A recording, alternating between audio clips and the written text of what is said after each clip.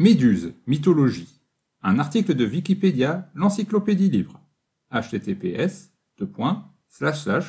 fr.wikipedia.org. Vous écoutez cet article dans sa version du 3 janvier 2023. Début de la deuxième partie de l'enregistrement. Troisième section, interprétation moderne. Première sous-section, une origine cosmologique, météorologique ou animale, une image illustre cette sous-section. Méduse et les saisons, mosaïque du IIe siècle trouvée à Palencha.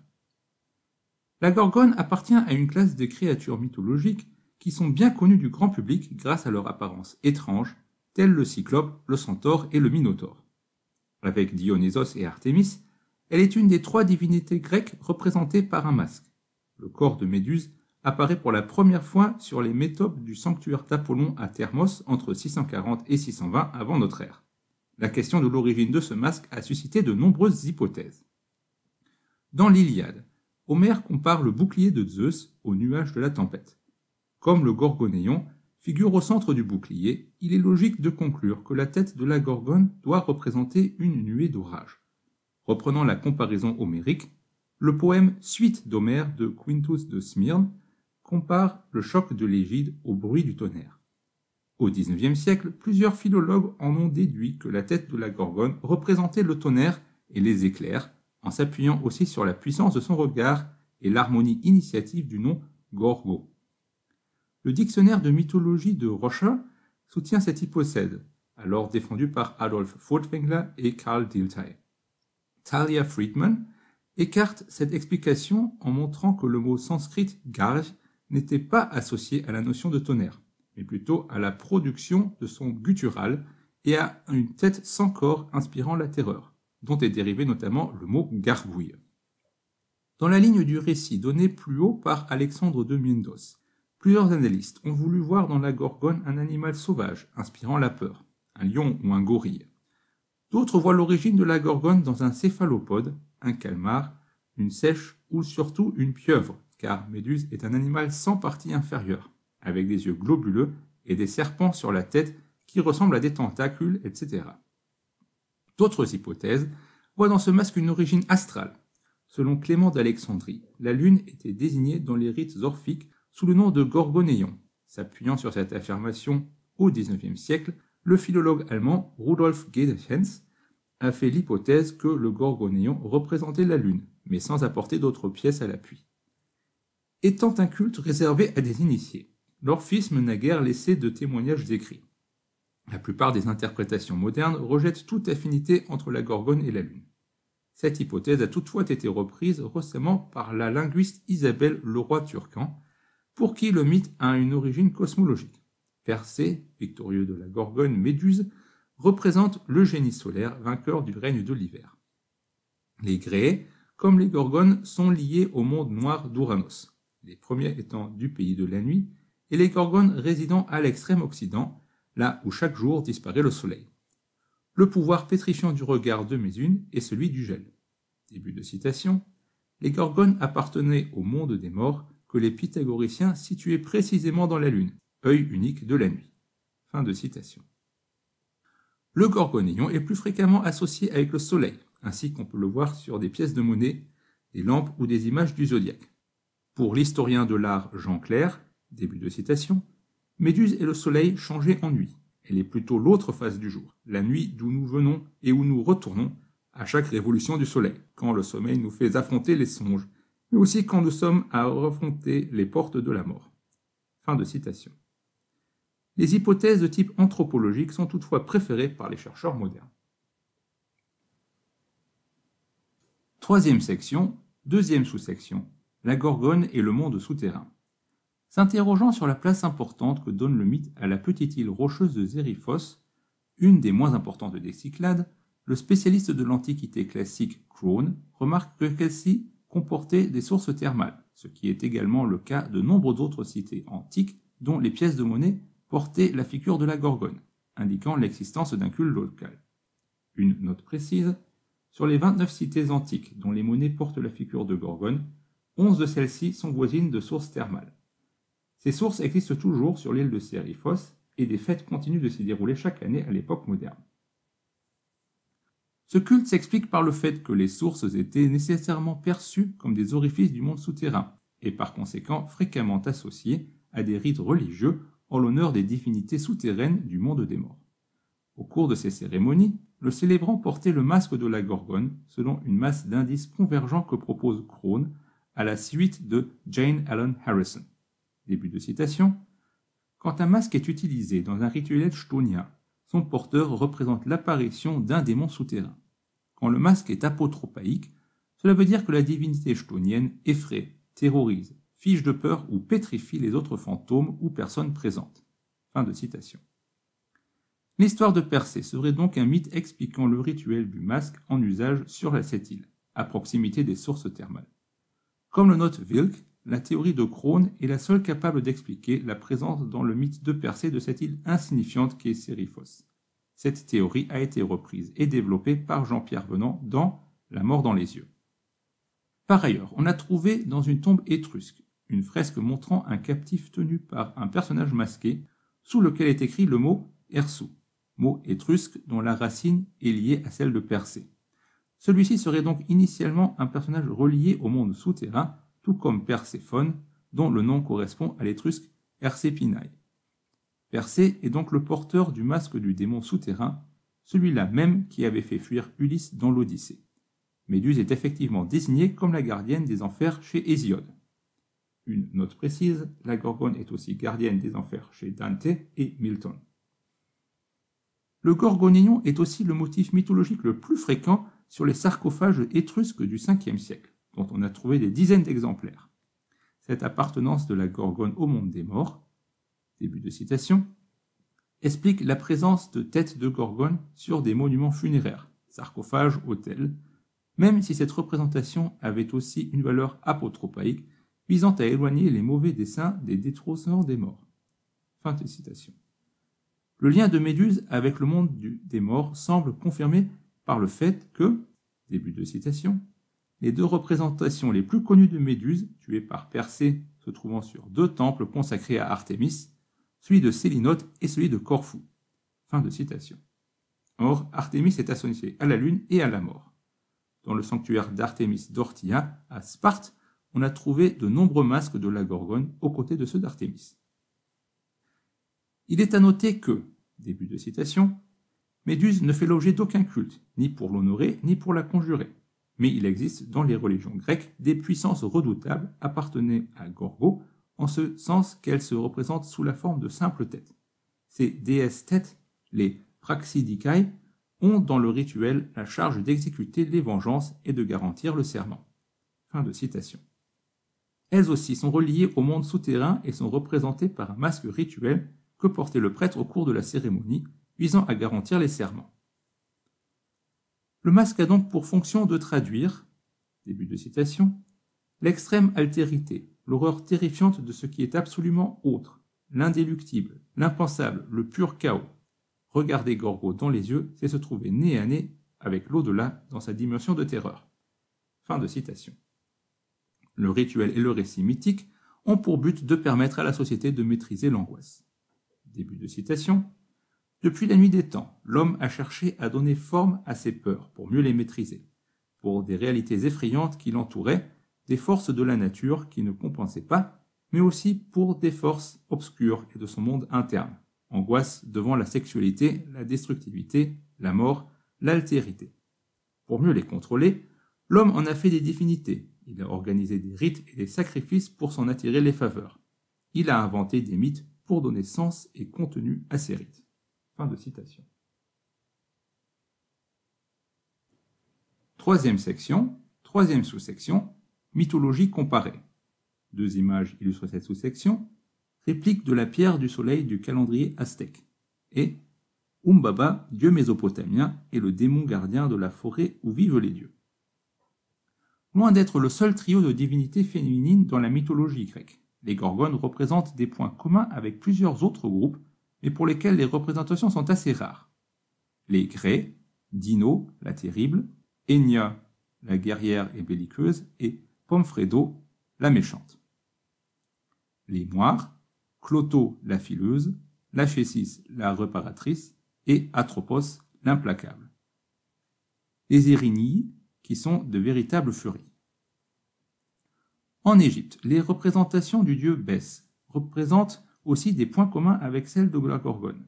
Toujours présenté de face, avec des grands yeux, un large nez et la langue qui dépasse, il est assez fréquemment dépourvu de corps. Figure très populaire, il est maintenu depuis le milieu du deuxième millénaire avant Jésus-Christ jusqu'à l'époque romaine et semble avoir eu une fonction apotropaïque, tenir à distance les mauvais sorts et écarter les démons.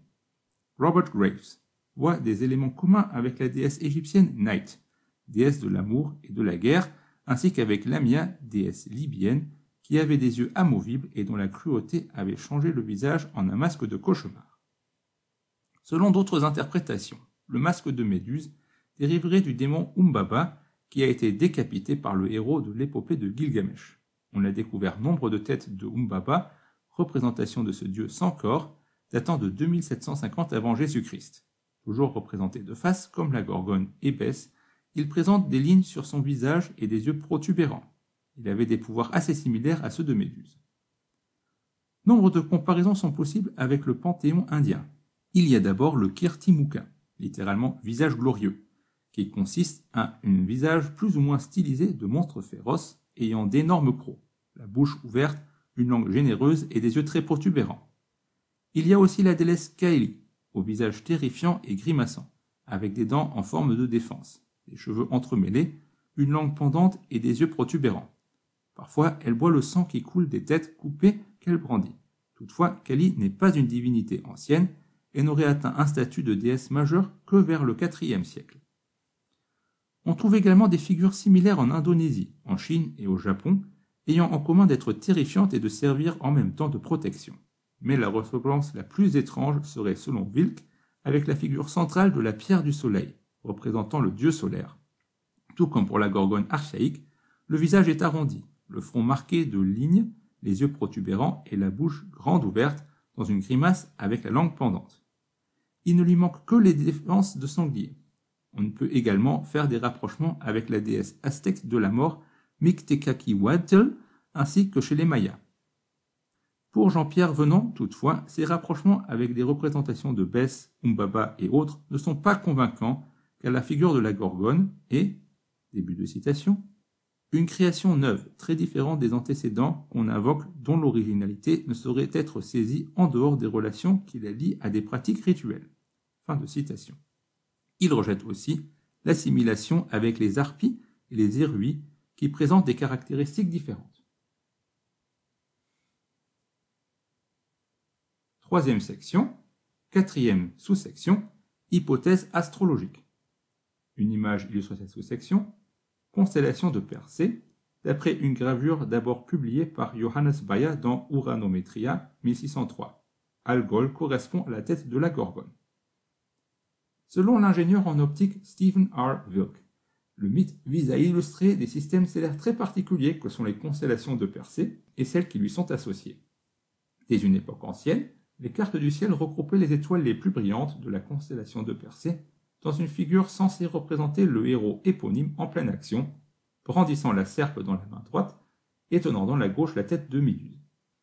Une telle représentation, qui se trouve dans la grande Uranométria de Johannes Bayer, 1603, apparaissait déjà chez l'astronome persan du Xe siècle Rama al-Soufi. Dans cette constellation, l'étoile Algol, Beta Persei, a une réputation maléfique, comme l'indique son nom dérivé de l'arabe Al-Ghul, littéralement tête du démon. Les astronomes chinois l'appellent Tsi littéralement pile de cadavres. Algol présente en effet la particularité d'être jumelé avec une étoile voisine, de sorte que leurs rotations respectives la font disparaître tous les trois jours. Une tablette babylonienne semblait déjà faire état du comportement particulier des étals binaires. Les témoignages antiques sont cependant rares, et Wilk conjecture que cela est dû à la suppression de tout commentaire direct sur ces phénomènes afin d'éviter d'attirer sur soi le mauvais œil. Selon Wilk, l'étoile alcool ne correspond pas à l'œil de la gorgone, mais à l'ensemble de la tête, car tous les trois jours, l'étoile la plus brillante de ce système stellaire triple disparaît, telle Méduse qui est mortelle, tandis que les deux autres, ses sœurs immortelles Sténo et Euryale, se maintiennent égales à elles-mêmes. Selon cette théorie, la présence des trois grès correspondrait au résidu d'une version parallèle du mythe dans lequel Algol, qui se trouve au bout du bras gauche de Persée, et l'œil que les grès se passent de l'un à l'autre. Tous les trois jours, quand il passe par Persée, celui le vole et la lumière disparaît. Autre coïncidence, la pluie de météorodes des Perséides a pour point d'origine l'extrémité du bras droit de Persée. Or, selon une version du mythe, ce bras aurait lancé l'œil dans les grès de lac Triton. Enfin, cette pluie d'or n'est pas sans évoquer la façon dont Zeus a fécondé Danaï, mère de Persée. Il existe aussi une correspondance astronomique entre la constellation de Persée et celle de la baleine. Or, celle-ci correspond au mythe de Céto, la mère des Grès et des Gorgones, que combattra Persée pour délivrer Andromède, elle-même fille de Céphée et de Cassiopée. Le fait que les Grecs aient associé dans un même mythe Persée, Céto, Céphée, Cassiopée et Pégase suggère qu'ils savaient que les constellations éponymes contenaient toutes des étoiles variables. Six des treize étoiles variables observables à l'œil nu depuis la Grèce sont donc impliquées dans ce mythe, et, à l'exception de Pégase, correspondent à des antagonistes de Persée. Cela concorde avec la théorie selon laquelle, début de citation, les étoiles variables sont en quelque sorte maléfiques et peut être associées avec le mauvais œil. Fin de citation. Le mythe de la délivrance d'Andromède par Persée, originaire d'Argos, offre des parallèles avec d'autres mythes, tels celui de Bellérophon à Corinthe et à Tarente, le mythe d'Héraclès délivrant Hésione. Selon Wilk, les ressemblances entre les trois mythes sont dues au fait que tous ces personnages peuvent se retrouver dans la constellation de Persée. Quant à Chrysaor et Pégare, nés du coup de Gorgo, il est également possible de les visualiser comme provenant de sa tête. Ils auraient été une des premières interprétations de la constellation avant d'être intégrés à la quête de Persée dès la théogonie d'Hésiode. Le cheval Pégase faisait lui aussi déjà partie d'une constellation identifiée par les Babyloniens. Le récit mythique de sa naissance permet de l'introduire dans le récit et de le lier à Persée. Wilk estime que ce sont les caractéristiques de ces constellations qui ont dicté la forme du mythe et son évolution. Ce n'est toutefois pas l'unique fondement du mythe, car celui-ci résulte de la concaténation de plusieurs éléments disparates. Troisième section, cinquième sous-section, hypothèse d'une société matriarcale archaïque. Une image illustre cette sous-section. Amphore du peintre de Nessos, 7e siècle avant Jésus-Christ, représentant sur le col un combat entre Héraclès et Nessos, et dessous, des gorgones poursuivant Persée, musée national archéologique d'Athènes. Une instance de la triple déesse. L'appartenance de Méduse aux divinités pré-olympiennes semble indiquer que ce mythe a un substrat très ancien, dans le mythe de Méduse, tout comme dans ceux de la chimère et de l'hydre de Lerne, les divinités féminines sont associées à la terre Gaïa, par opposition aux divinités olympiennes qui résident dans le ciel. Toutes trois ont en commun d'être des monstres et d'emprunter certains de leurs traits au serpent, dont le lien avec la terre, le féminin et le mystérieux est très ancien. Toutefois, dans le cas de Méduse, le pouvoir maléfique est converti en objet de protection une fois le monstre décapité. Dès 1911, Frothingham avait noté les parallèles entre Méduse et la Grande Mère. Selon Joseph Campbell, les lieux de culte à la déesse mère et aux divinités féminines auraient été remplacés par un nouveau panthéon lors de l'arrivée en Grèce des envahisseurs. Les divers états du mythe reflétaient ainsi le passage d'une société matriarcale à une société patriarcale.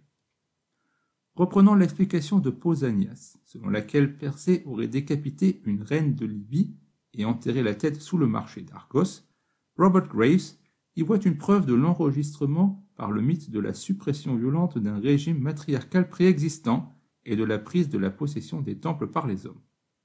Il suppose que dans la société matriarcale archaïque, le masque de Gorgo avait pour fonction d'éloigner les hommes des cérémonies initiatiques célébrant la triple déesse lune et de protéger de la concupiscence des hommes les jeunes filles vierges qui le portaient. Une note précise, par la suite, Robert Grace proposa dans les mythes celtes une hypothèse iconotrope de déchiffrage du mythe selon laquelle celui-ci figurait la transmission de l'alphabet. Persée, qui serait en fait Hermès ou Thoth, aurait reçu le don de la poésie de la part des trois grès, qui sont en fait les parcs, ainsi que le pouvoir de déchiffrer le vol des oiseaux et la capacité de comprendre le secret de l'alphabet, représenté par les grues. La besace de Persée servirait à garder le secret de l'alphabet, les sandales symboliseraient la rapidité de la pensée et Andromède serait en fait Athéna. Cette hypothèse, qui n'a pas été retenue par aucun spécialiste, est discutée et rejetée comme étant quite wrong par Wilk. Selon Wilk, début de citation, en dépit du manque de preuves, l'idée est maintenant largement acceptée que dans le monde ancien, le masque de la Gorgone servait à garder les secrets féminins. Fin de citation. Graves note aussi que les mythes de Persée et de Bellérophon sont étroitement associés. Début. Tous deux enregistrent l'usurpation des pouvoirs de la déesse Lune par les envahisseurs hélènes et sont unifiés dans une peinture archaïque d'une jument à la tête de Gorgone. Comme le note Eleanor Wilner, il devait être évident que le mythe raconte l'histoire d'une migration et d'une invasion, entraînant le remplacement d'une religion par une autre, celle des anciennes divinités élémentaires, de la nature et de l'engendrement, de la soumission aux forces chtoniennes, de la terre et au cycle de saison. Par les nouveaux dieux immortels de l'Olympe, les dieux du ciel, de l'intellect et de la volonté, garant de la nouvelle et tragique autonomie des héros humains. Fin de citation. Un croque-mitaine, se basant sur une analyse du texte homérique et des données archéologiques. Talia Fieldman, spécialiste de l'histoire de l'art, l'hypothèse que le quête de Persée et la décapitation de Méduse seraient d'origine post-homérique. En revanche, le thème d'une tête sans corps, le gorgonéon, serait très ancien, comme le montre notamment une terre cuite d'époque archaïque trouvée sur le Parthénon. Ce motif aurait sa source dans la nécessité pour l'être humain d'exorciser ses peurs, notamment en les représentant sous la forme d'un masque grimaçant, d'une figure de terreur. Le gorgonéon serait donc à l'origine un croque-mitaine. Une note précise, Vernon montre que le croque-mitaine est pour l'enfant l'équivalent que ce qu'est le gorgonéon pour l'adulte. Le fait que le gorgonéon soit une tête de femme pourrait indiquer qu'il est résidu d'un état de société matriarcale les figures terrorisantes étant naturellement associées au genre qui défend l'autorité. Le mythe de Méduse s'est donc construit sur le thème d'un visage hirsute et animal, doué d'un regard qui avait le pouvoir de transformer l'homme en pierre, de le castrer. À la suite des changements de société de structure familiale entre le 8e siècle et le 6e siècle, le mythe a évolué, donnant à ce masque un corps de femme et suscitant un héros capable de le décapiter une image complète de Méduse apparaît pour la première fois sous le fronton du temple d'Artémis à Corcyre, érigé en 580 avant Jésus-Christ. Elle y est représentée avec tous ses attributs serpent entrelacé sur la poitrine en guise de ceinture, bouche grimaçante, langue pendante, yeux protubérants, ailes dans les dos. Athéna, antithèse et synthèse de Méduse. Pour Tobin Sievers, Athéna et Méduse sont intimement liés comme les deux pôles opposés, et partagent une histoire de rivalité et de phénomènes inversés. La naissance d'Athéna, qui naît casquée du crâne de son père Zeus, offre en effet une image inversée de la mort de Méduse, donne naissance à Pégase et à Chrysaor jasillant de sa tête. Jalouse de la beauté de Méduse, Athéna arme et guide Persée pour aller tuer sa rivale. Victorieuse, elle marque par l'opposition du masque de Méduse sur son égide la présence subliminale de l'autre comme si l'une n'était que le double de l'autre. Toutefois, à l'encontre de Méduse, Athéna ne menace pas les hommes. Étant née de Zeus, elle correspond, selon Patricia Kleindienst, au fantasme masculin de ce que devrait être une femme. Selon Olivetti, le mythe de la naissance d'Athéna, née toute formée du crâne de Zeus, correspond à l'établissement de l'idée de paternité, avec pour effet de diminuer le mystère et le pouvoir du féminin. Ce mythe relate donc le changement fondamental de civilisation qu'est le passage du charnel au symbolique. Idée que partage le psychiatre Jean-Louis Lorrain. Début de citation. Le danger de la féminité primitive est désormais réglé dans l'ordre paternel que représente Athéna. Fin de citation. Selon Olivetti, la position du masque de Méduse sur l'égide d'Athéna, la déesse vierge, signifie que celle-ci avait besoin de la libido de Méduse, du noumen de la grande déesse, pour réaliser son plan patriarcal.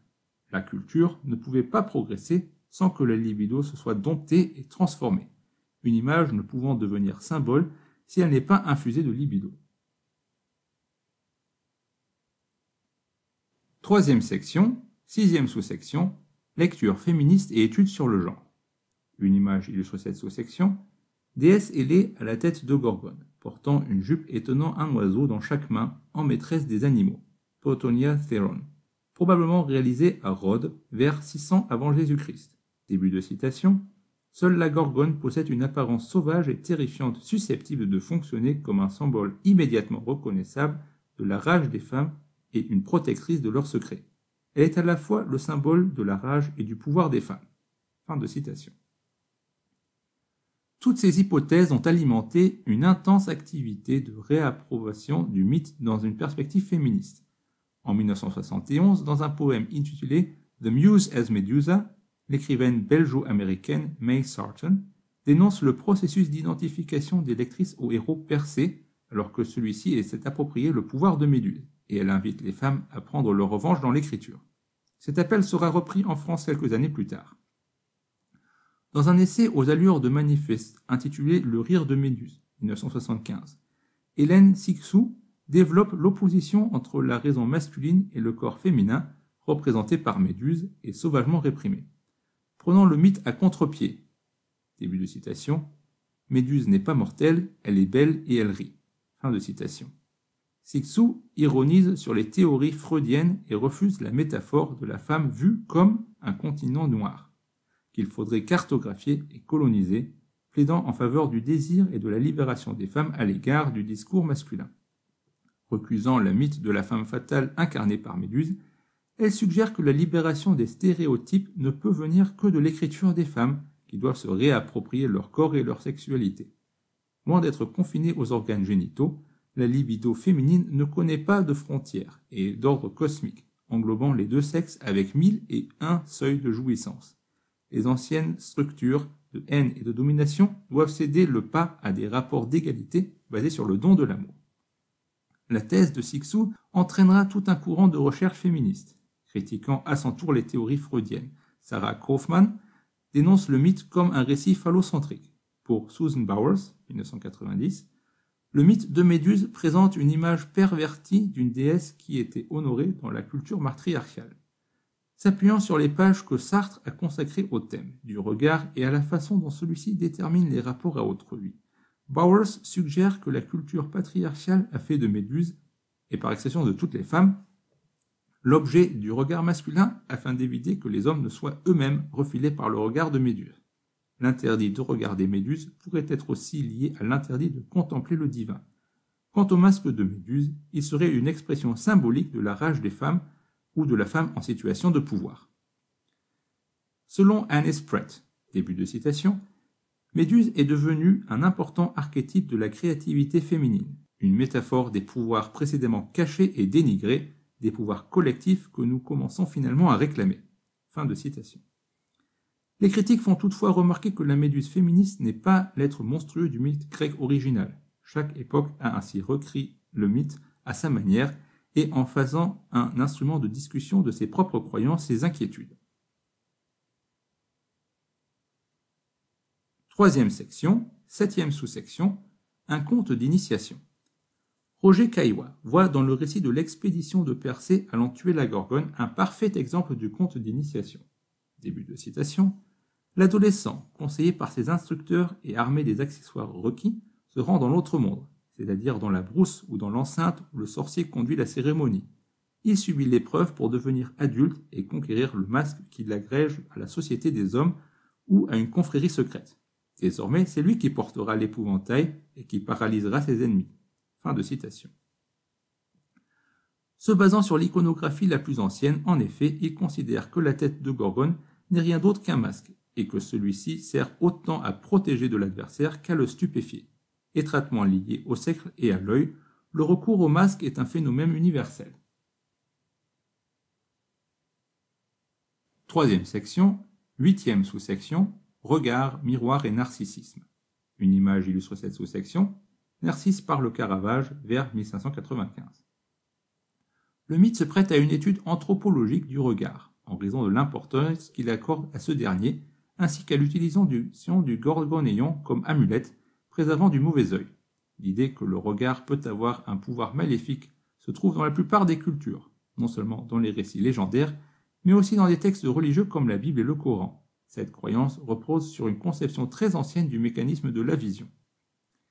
La plupart des savants et philosophes grecs qui se sont intéressés au phénomène de la vision ont accepté la théorie de l'émission, selon laquelle la vision opère au moyen d'un rayon qui part de l'œil et va éclairer l'objet. En ce sens, comme le fait remarquer Jean-Marc Luce, euh, début de citation, le regard mortifère de la méduse n'est pas une propriété qui mettait le monstre tout à fait à part des autres êtres. Son pouvoir ne s'en distingue que d'une façon quantitative. Le feu de son regard est actif jusqu'à faire mourir son objet. Fin de citation. Cette croyance au pouvoir du regard est encore largement répandue. Dans les années 1980, une enquête auprès d'étudiants universitaires américains montrait que, sur un échantillon de 1300 personnes, 84% des femmes et 73% des hommes sont convaincus qu'ils peuvent sentir lorsque quelqu'un les regarde.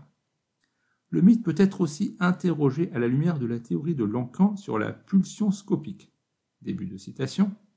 Incarnation du désir forcené de voir et de sa sanction. Elle, c'est-à-dire Méduse, est ce dont on ne peut détacher les yeux. Fin de citation.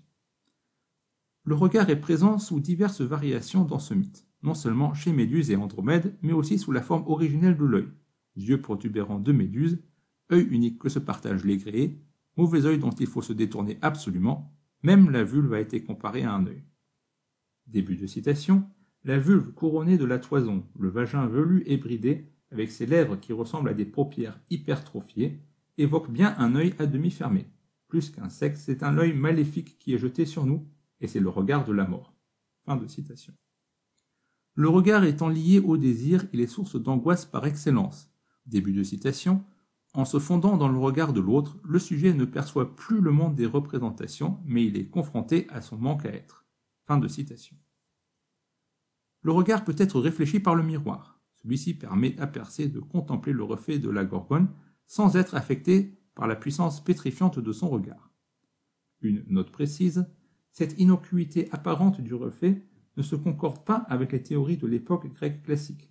Aristote, dans De Insomniis, affirme qu'un miroir neuf se ternit irrévocablement si une femme s'y regarde, alors qu'elle a ses menstruations, car elle y projette son propre reflet.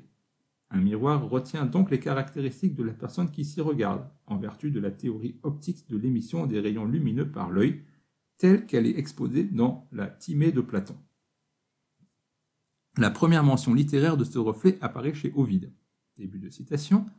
Lui, cependant, ne regardait que la forme de l'horrible méduse reflétée sur le bronze du bouclier que portait sa main gauche. Le même thème revient chez Lucain et chez Apollodore. Toutefois, le thème du miroir étant présent dès le début du IVe siècle avant Jésus-Christ dans des peintures de vases trouvées dans le sud de l'Italie, tel un cratère représentant Persée et Athéna en train de regarder le reflet du Gorgonéon sur un bouclier, sans doute pour satisfaire la curiosité du héros, ou à la surface d'un puits. L'apparition de ce thème dans le mythe coïncide avec les efforts des peintres de cette époque pour créer une illusion de perspective. Une note précise, le miroir acquérera un nouveau rôle nettement offensif à partir de la Renaissance. Or, cette période coïncide avec une révolution dans la perspective et la science optique. L'historien d'art Jean Clair a souligné le rapport structurel entre l'exploit de Persée décapitant Méduse et celui de Brunelleschi, inventant la règle perspective, car celle-ci permet de représenter la vision du réel à partir d'un point fixe, alors que les points de vue étaient jusqu'alors mobiles. En même temps, les philosophes réfléchissent sur la notion d'imitation, mimésis, et que commencent les expérimentations qui, depuis Euclide jusqu'à Ptolémée, mettront en place une science de l'optique une note précise, Vernon précise cependant que la science de cette époque est encore incapable de préciser le rôle de la lumière et de différencier ce qui est vu de ce qui est visible. Cet artifice du miroir n'est pas simplement un complément rationaliste à l'histoire, mais un développement du thème de la vision, car il ajoute au mythe la notion de simulacre, et icône, terme supplémentaire à l'alternative visible-non visible qui parcourt tout le récit des aventures de Persée. Dans l'Antiquité, le miroir n'apparaît toutefois jamais comme une arme. Ce n'est qu'avec le dramaturge espagnol Calderón que le miroir est présenté comme possédant un pouvoir égal à celui du regard direct. Cet auteur pousse d'ailleurs l'ironie jusqu'à faire du reflet l'instrument par lequel Persée tue Méduse en lui renvoyant son image en miroir. Pressentant sa fin, Méduse déclare à Persée qu'elle préférait mourir sous ses coups que de se voir dans un miroir. Une note précise, l'idée selon laquelle Méduse est victime de son propre reflet dans le bouclier de Persée sera reprise par de nombreux exégètes modernes, notamment Roger Calois, Louis Marin et Tobin Siebers, au mépris du mythe original.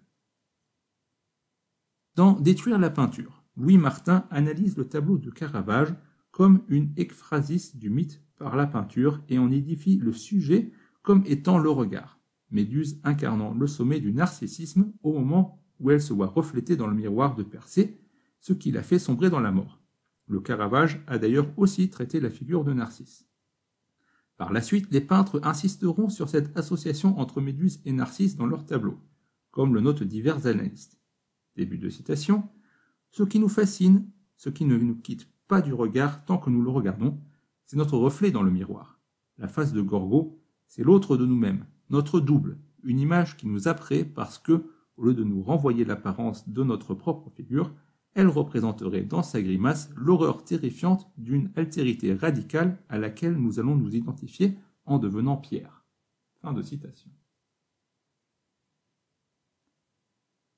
Troisième section, neuvième sous-section, postérité dans l'hermétisme. Emmanuel Dogforst renvoie notamment à la descente de Dante aux enfers comme étant l'initiation par excellence. En effet, les Érini y accueillent Dante en criant Viens, Méduse, nous la ferons de pierre le philosophe Porphyre ayant fait remarquer à propos d'Ulysse, lui aussi descendu aux enfers, que craindre de voir la méduse n'est pas la voir. Doc Forst précise, début de citation, la remarque de Porphyre définit bien la nature de cette méduse pétrifiante. C'est un fantôme, auquel le témoignage des sens n'a aucune part. Si elle se manifeste au damné, comme terreur panique saisissant ses esprits palmés, elle peut cependant, au cours de la vie de l'homme, prendre d'autres aspects. C'est le péril de toute activité psychique séparée de sens et, par conséquent, insensée. Voilà le dol des fausses révélations. Ce monstre sans os ni viande est comme percé, prenant toutes les femmes en n'en retenant aucune. Fin de citation. Troisième section, dixième sous-section, interprétation psychanalytique. Une image illustre cette sous-section, hydre iaconienne à figure noire à décor de la tête de Gorgone, de Sphinx et de Grue vers 540 à 530 avant Jésus-Christ. Dans un bref article intitulé La tête de Méduse, où il s'interroge sur la sexualité féminine, Sigmund Freud propose une interprétation psychanalytique de ce mythe selon laquelle la décapitation de Méduse serait une représentation de la castration. Une note précise, selon l'historien britannique David Leeming, une telle interprétation est farfelue, voire comique, et ne tient pas compte de l'ensemble du récit mythique. La terreur qu'inspire le monstre serait donc la peur de la castration, résultant de la vue de quelque chose qu'on n'était pas censé voir ni regarder. Cette angoisse n'apparaît chez le petit garçon qui, en apercevant des organes génitaux féminins, découvre que la menace de castration est bien réelle. Cette interprétation de Freud établit ainsi un, début de citation, lien entre sexe et effroi qui est assisté aujourd'hui par les travaux anthropologues, de philosophes et d'historiens. Le visage rond entouré d'une couronne de cheveux serait en fait un sexe féminin. Cette représentation présente certaines ressemblances avec Baobo, une figure féminine liée au mystère d'Éleusis. Celui-ci en effet montre sa vulve en se soulevant sa robe. Début de citation. Mais alors que Gorgo pétrifie en exhibant le sexe sous son aspect mortifère, Bobo réanime en rappelant ce qui est bien la source de vie de citation. Selon Jean Clair, cette association de Gorgonéon avec le sexe féminin fait de Persée un héros moderne. Début de citation. Persée est un fondateur de civilisation dans la mesure où il est ce héros solaire qui instaure, qui pose comme force de loi, comme tout fondateur de civilisation, le tabou de l'inceste. Il est celui qui a osé affronter le regard du sexe maternel pour, l'envisageant par la ruse de son intelligence, réussir à le couper et l'exhiber comme un trophée, et désormais revenant triomphateur en Éthiopie, délivrer Andromède. Fin de citation. Dans le prolongement de l'interprétation de Freud, son diplice Ferenczi s'est aussi interrogé sur la signification du mythe. Début de citation.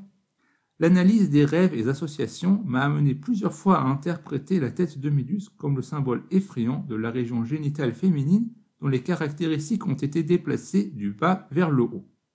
Fin de citation. Une note précise, pour Olivetti, la tête de Méduse est une image de la vagina dentata. Cette hypothèse d'un déplacement pourrait avoir inspiré à Magritte la composition de son tableau Le viol. Selon Ferenczi, début de citation, les nombreux serpents qui s'enroulent autour de la tête pourraient signifier, selon le principe de la représentation par le contraire, l'absence du pénis et l'horreur elle-même reprêter l'impression effrayante que produit sur l'enfant la vue des organes génitaux dépourvus de pénis, c'est-à-dire castrés. Les yeux de la tête de Méduse, source de l'angoisse et de l'effroi, ont également l'érection pour signification secondaire. Fin de citation.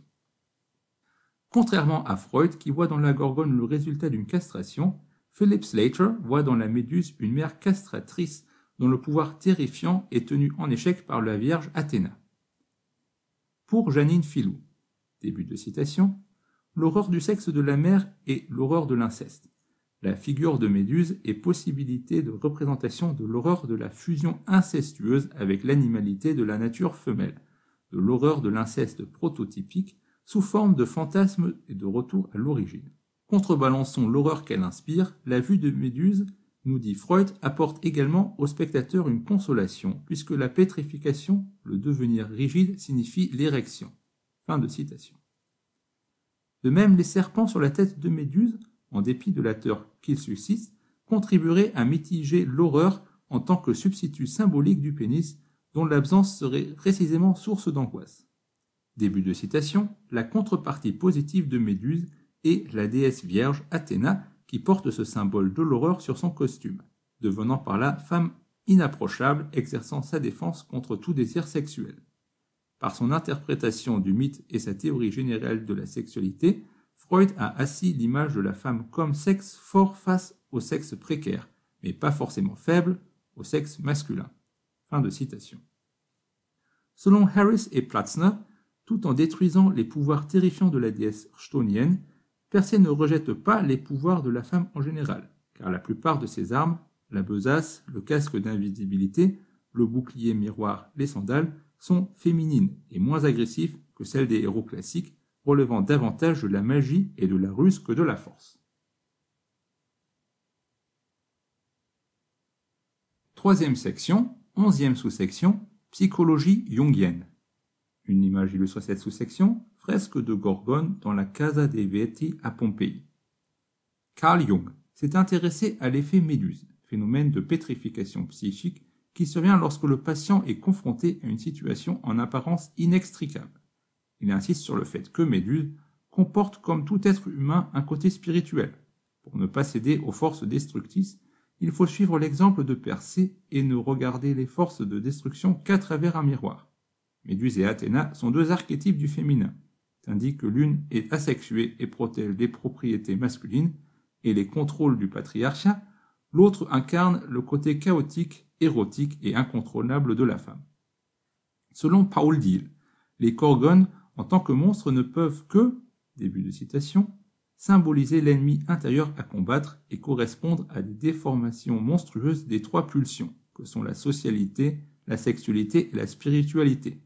Méduse symbolise la perversion de la pulsion spirituelle, qui est la stagnation vaniteuse, et sa chevelure de serpent manifeste le tournement de la culpabilité refoulée.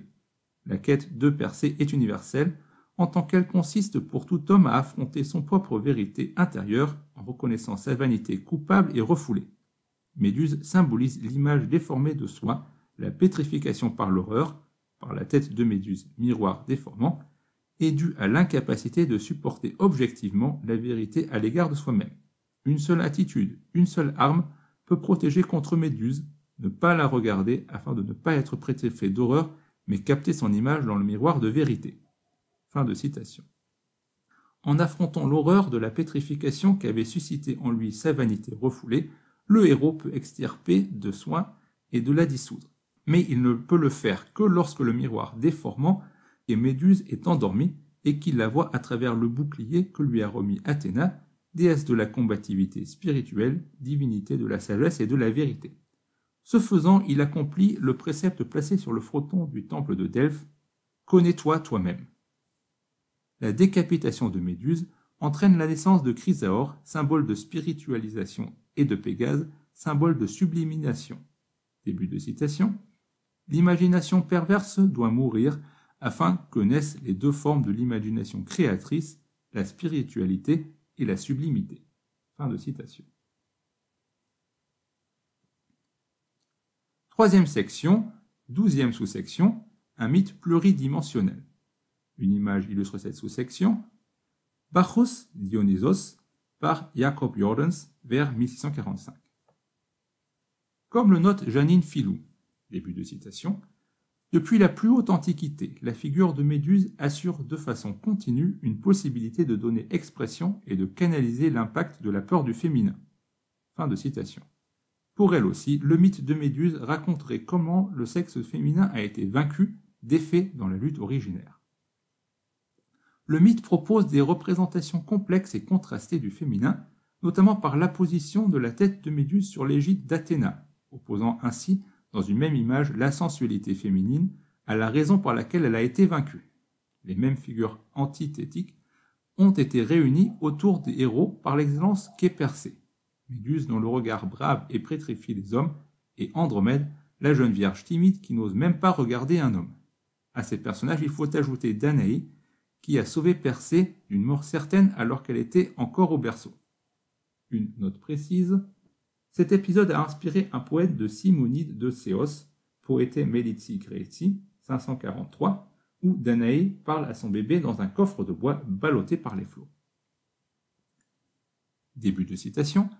De Dante à Pétrarque, à Shelley en passant par Goethe, la figure de Méduse incarne pour les poètes de toutes les époques l'ambivalence du regard féminin, qui attire et ensorcelle, séduit et condamne. Pour Pétrarque, Méduse c'est sa muse, Laura, lorsqu'elle détourne le poète du sacré et incite à rendre hommage à la beauté charnelle. Pour Goethe, c'est le visage trompeur de l'amour et l'illusion à laquelle ont recours les femmes pour piéger les hommes dans leur filet. Fin de citation.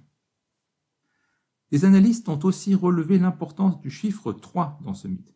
Trois gorgones, trois grès, trois gadeaux des nymphes, trois étapes dans la mission de Persée. Dans la naissance de la tragédie, Friedrich Nietzsche voit la décapitation de Méduse comme le symbole de la lutte du principe apollinien d'ordre et de lumière contre le côté dionysaque, obscur, intuitif et débordant d'émotions. Début de citation. Contre la fièvre et la frénésie de ces fêtes, qui pénètrent jusqu'à eux par tous les chemins de la terre et des eaux, les Grecs semblent avoir été défendus et victorieusement protégés pendant quelque temps par l'orgueilleuse image d'Apollon, laquelle la tête de Méduse était incapable d'opposer une force plus dangereuse que cette grotesque et brutale violence dionysienne. Fin. En ce sens, Persée joue un rôle fondamental dans le récit mythique, car sans lui, Méduse ne serait qu'un monstre archaïque inoffensif. C'est au jeune dieu olympien que le lecteur s'identifie à travers de sa quête et celle-ci symbolise notre propre processus de croissance psychologique en lutte contre la pétrification narcissique de notre être. Le mythe a fasciné l'avant-garde intellectuelle française de la seconde moitié du XXe siècle. Dans son autobiographie, Roland Barthes établit une équivalence entre Méduse et la doxa, décrivant cette dernière comme, une masse gélatineuse qui colle au fond de la rétine et pétrifie le regard de ceux qui la regardent. Dans Glace, Jacques Derrida analyse l'usage que fait Hegel de Méduse comme une métaphore de judaïsme qui a la propriété de pétrifier tout ce qui le regarde. Pour sa part, il voit dans la circoncision un simulacre de castration par lequel le sujet se fait esclave de la divinité dans un geste qui a valeur apotropaïque au même titre que la tête de Méduse. Au début du XXIe siècle, le mythe continue d'intéresser philosophes et chercheurs de diverses disciplines et est présent dans la psyché contemporaine comme en témoignent la fiction et les jeux. Il en va de même dans le domaine de l'art. De citation. Nul artiste d'aujourd'hui ne saurait représenter Zeus ou Apollon, sinon à des fins parodiques. Mais le masque de Méduse continue de hanter les représentations contemporaines de l'art. Pour Jean Clair, cette figure mythique est emblématique du travail de l'artiste, du moins dans une culture qui ne porte pas d'interdit sur la représentation. En effet, tout comme Méduse, début de citation, l'artiste a le pouvoir de jeter son regard sur le monde, d'en immobiliser les aspects et d'en détacher un fragment. Fin de. Fin de la deuxième partie de l'enregistrement. La quatrième section est dans la troisième partie de l'enregistrement, avec l'infobox et à la fin l'indication de la licence.